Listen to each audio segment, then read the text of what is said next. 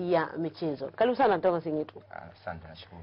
Na mtazamaji, kabla sijaanza kuzungumza na Thomas Ngitu kuhusiana na timu ya taifa ikiwa inajiandaa leo hii saa kumi uh, jioni kucheza na timu ya Botswana pale uwanja wa Uhuru jijini Dar es Salaam, lakini pia ikiwa inajiandaa uh, ishacheza mchezo wake mmoja na Lesotho wa kuwania kufuzu michuano ya AFCON Cameroon elfu mbili na kumi na tisa. Tutazungumza mengi, lakini kesho kuna media day ya waandishi wa habari kule katika eh, fukwe za uh, Msasani Beach ambapo waandishi wa habari watakutana pale kwa ajili ya kuweza kubadilishana mawazo, kushiriki michezo. Wamekuwa watu wa kuandika tu, lakini sasa wanaamua kuingia nao wacheze, waonyeshe vipaji vyao. Harrison Mwakembe ambaye ni waziri mwenye dhamana ya michezo ndio atakuwa mgeni rasmi hapo kesho huko Msasani Beach. Tukianza uh, Thomas Ngitu, kuhusiana na timu ya taifa, tunaona timu ya taifa iko na kocha mzawa mm. Salum Mayanga.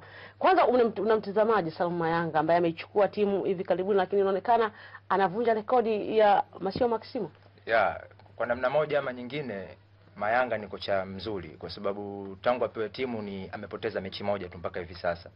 Lakini kitu kingine mimi nachompendea Mayanga yani ni kocha ambaye anatoa nafasi kwa mchezaji yoyote ambaye yuko mbele yake ambaye ana kipaji. Mm. Tumeona kwamba awali alishaye kukaribisha watu ambao wachezaji wa Tanzania ambao wanacheza nje wapo katika akademi, akamwambia njoeni niwaone, nikiwahitaji mnaingia kama mm. siwahitaji, kama bado ni vijana nitaweka katika kikosi cha vijana cha under 17 na au chini ya miaka 23.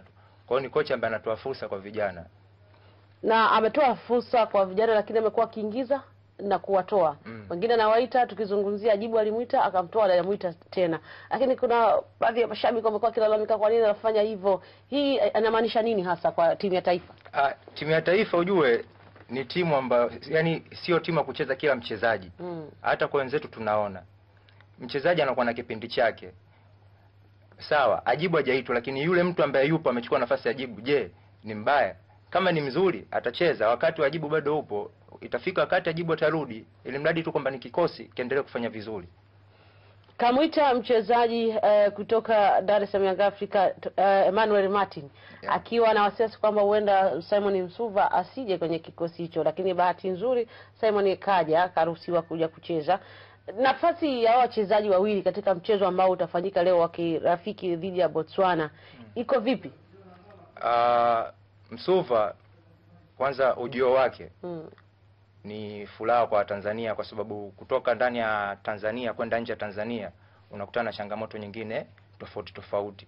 Kwa hiyo mi nadhani uwepo wake, yani kutua kwake kutamsaidia tena Mayanga kuendelea na ile mipango yake ambayo aliku, alikuwepo nayo tofauti na mipango mbadala ambayo alifanya kumchukua Emmanuel Martin. Emmanuel Martin katika mechi hizi mbili za mwisho alizocheza ukiachana na hii ya ligi na zile za kirafiki amefanya vizuri, ameperform. Hata ile mechi ya na watanajadi ile na mm, Simba pia ameperform, ushaona. Kwa hiyo naye ana nafasi yake katika timu ya taifa. Kwa kwa, kwa maana katika upangaji tuseme wa kocha eh, unafikiri atalenga wapi, kwa Msuva, kwa Martin ama anaweza akawachanganya wote kwa wawili? Uh, kwa haraka haraka, kwa sababu Emmanuel ametrain mara moja nadhani mm. Msuva naye ametrain mara moja, kwa wote ametrain sawa sawa. Yeye mwenyewe ataangalia pale uzoefu sasa wa timu ya taifa na uzoefu wafatike, kwa sababu Martin alikuwa apati nafasi sana katika katika timu ya taifa hadi katika timu ya club, lakini Msuva alikuwa anapata nafasi katika timu ya club. Ametoka Yanga alipoenda pia Morocco na timu ya taifa. Kwa hiyo unaweza ukashangaa kwamba Mayanga akamwanzisha nani, akamwanzisha Msuva. Kocha Salma Yanga katika kikosi ambacho amekiita, japokuwa ameita na wachezaji wa kimataifa ambao wapo kina Thomas Ulimwengu kama kina Msuva hivyo, Abdi Banda ambaye anacheza Afrika Kusini, kuna mchezaji anacheza Kenya nafasi ya wachezaji hawa ambao wamewaita ikoje katika mchezo wa leo dhidi ya Botswana?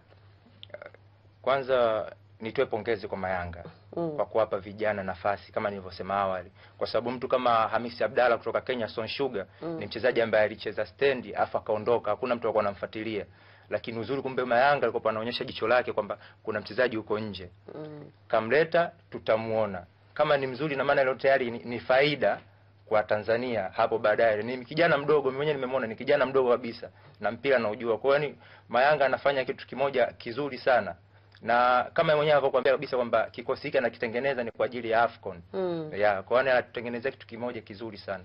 Tutizame mchezo wa leo dhidi ya Botswana, unauonaje kwa timu ya taifa? Ni mchezo ambao ni mgumu wote wanahitaji matokeo, kwa sababu imechi mechi kwamba mkipata matokeo Mm. unajua katika nafasi nzuri ya FIFA rank. Kwa hiyo Mayanga anahitaji ushindi, hata kule bwana David yule kocha Botswana naye anahitaji ushindi. Kasema kocha Botswana kwamba kaja na vijana ambao wanataka kuwajaribu uh, kwa timu ya taifa. Yeye hahitaji matokeo.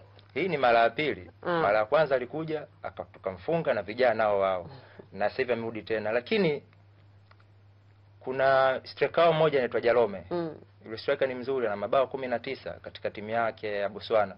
Kwa hiyo nadhani pia kumwongeza Kevin Ondani pale nyuma kuweka uzoefu, maana yule Jalome naye ni mzoefu. Mm. Kwa unapomweka beki pia mzoefu, mtu kama Kevin Ondana ambaye alikosekana kwa muda mrefu, atengeneza cream kwa vijana pale, mchezo utakuwa tafu. Mashabiki wengi wamekuwa wa- waki- wakiingia katika mchezo wa timu ya taifa mm. kushangilia kwa kuangalia wachezaji. Mtu anakuwa mshabiki wa Simba anaangalia mchezaji wa Simba akapiga bao ama akafunga ama akafanya chochote anashangilia. Mchezaji wa Yanga hivyo hivyo. Ina inaashiria nini kwa Watanzania ambao baadhi yao wanapenda soka, wanataka kuona timu yao ya taifa inafanya vizuri? Uh, mimi nawaomba Tanzania wenzangu nikiwa kama mmoja wa Tanzania kwamba tusianze kubagua kwamba hii kunde ili alage, tuungane, timu ipate matokeo. Tukianza kuleta ubaguzi sisi kwa sisi, labda huyu sijui Yanga, huyu Simba, huyu Azam, inakuwa ipendezi. Uzuri ni kwamba wachezaji wote wanatakiwa wacheze, tuwashangilie kwa pamoja, timu isonge mbele. Mchezaji Nyoni ni mchezaji mkongwe sana kwenye timu ya taifa na ameitwa tena kwa mara nyingine tena. E, kila kocha ambaye alikuwa akiingia kwenye timu ya taifa huwa mwachi Erasto Nyoni. hmm. Ana kipi ambacho anawa- anawa- ana- ana- anawafanya makocha wamwite huwa wamwache? Kumbukumbu zangu Nyoni, yani ni miaka kumi na moja nadhani yuko katika timu ya taifa hivi sasa, na unajua Nyoni ni mchezaji ambaye anaweza kucheza nafasi nyingi uwanjani. Nyoni anaweza kucheza beki wa kushoto, yani nafasi backline yote anacheza Nyoni, kiungo anacheza. Kwa hiyo kocha yoyote ambaye anaenda vitani, yani anaenda katika ligi, anaenda katika mashindano makubwa, unajua Mm. ni lazima awe na aina ile mchezaji kwamba imetokea majeruhi, ana anamchomeka popote na anakupa namweka kwamba bwana Nyoni kaa hapa, Nyoni kaa hapa, Nyoni kaa hapa. afu ni mchezaji ambaye pia anapiga, inatokea cross, anajua kuruka, unajua yani ni mchezaji ambaye anahitajika. Kwa hiyo hakuna sababu ya msingi kwamba unamwachaje mchezaji na ile kama anacheza pia katika ligi vizuri. Anaweza kupanda na kushuka. Tukiangalia kwenye mchezo wa Simba Mm. na Ruvu Shooting Yeah. alipanda na akafunga goli. Ndio. Kwa hiyo hiki ni moja ya sababu ambao makocha huwa wanamwita. Lakini mbadala wa Nyoni pale, unadhani ni nani itu? Ah, kwa upande wa timu ya taifa sasa au Timu ya taifa. Katika upande wa taifa. Mbadala wa Nyoni mimi pale bwana, kwa haraka haraka kuna kijana anaitwa Boniface Maganga. Mm. Boniface Maganga kipindi yupo Simba alikuwa acheza striker. Mm. Akatoka akakosa nafasi.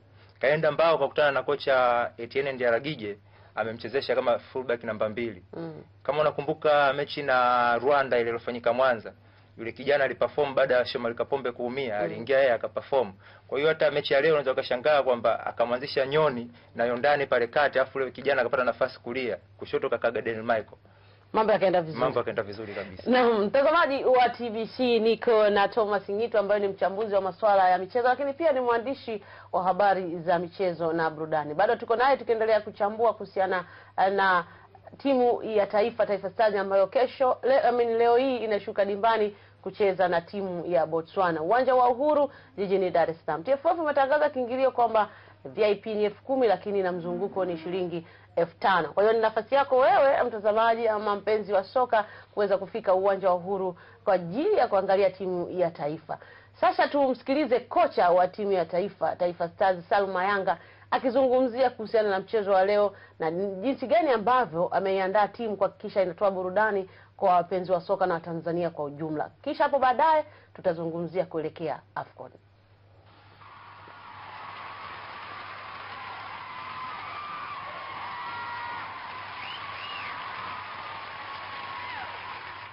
Ya kikubwa mimi na wenzangu na vijana tumejaribu kuliona hilo na kuona tujaribu eh, kulizingatia hilo. Kwa hiyo kwa upande wetu tulikubaliana hivyo, tujitahidi kujiweka vizuri kiufundi eh, na kuona tunaongeza ubora wa timu yetu ya taifa na kuweza kutusaidia e, kuweza kutoa vijana nje kad, kwa wingi kadri iwezekanavyo, kwa, sababu kadri utakavyoweza kucheza mechi nyingi na kufanya vizuri inasaidia e, ile FIFA rank kuwa kwenye nafasi nzuri, lakini wakati huo watu wataona kuna ubora wa timu na ubora wa wachezaji, na tunaweza tukatengeneza nafasi za kutosha kwa vijana kutoka nje, lakini wakati huo huo kuendelea kuona kwamba tunaweza kufanya chochote e, japokuwa bado mpaka sasa hivi idadi kubwa hatuamini kama tunaweza kufanya chochote.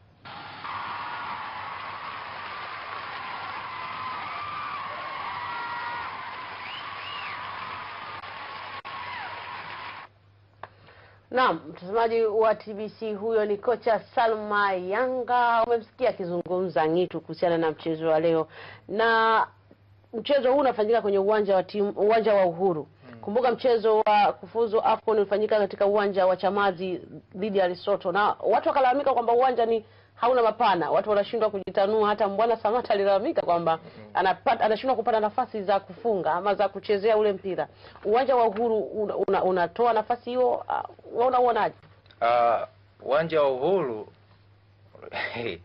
mambo mengine yapo Mm. lakini kama bwana alivyolalamika kwamba uwanja wa Chamazi ulikopo ni uwanja ambao unambana kwa sababu aina ya uchezaji ya